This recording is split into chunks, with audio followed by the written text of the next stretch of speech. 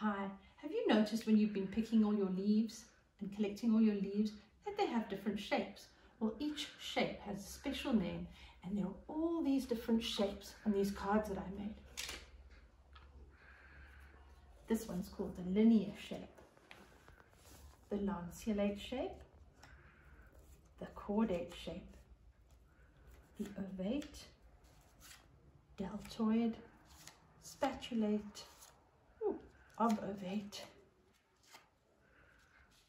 oblong, oblanceolate, reniform, elliptical, rhomboid, and orbicular.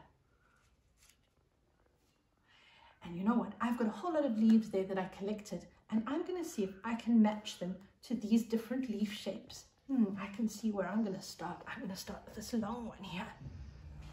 This one matches with this one. They're the same shape. Hmm, let's see if I can find one that's this shape. Hmm, I think it's this one. Now I'm going to try and find this shape. This looks a bit like an upside down heart. There we go. And now I'm going to see if I can find this one. Hmm, which one could that be?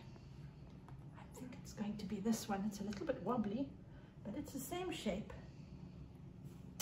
Now I'm going to try and find this one. Hmm. Let's see. I think it's going to be this one. It's a little bit wobbly around the edges, but you can see the shape is basically the same. I'm going to find this one now. Hmm. I think this was actually a weed that I pulled out in the garden. That matches. Now I'm going to find this one that's a little bit rounder. Reminds me of a spatula in the kitchen. Now I'm going to find an oblong one. I think this will be my oblong one. And this one, hmm, let's see. I don't think I have one like that. Let's see if I have one like this. Yes. And let's see if I have one like this. Yes.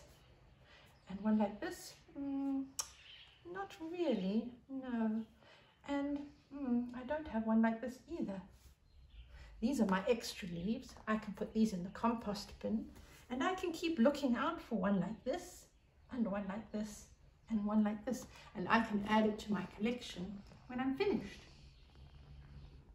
Don't forget to pack away when you've finished your work and put it all back on the tray and onto your shelf.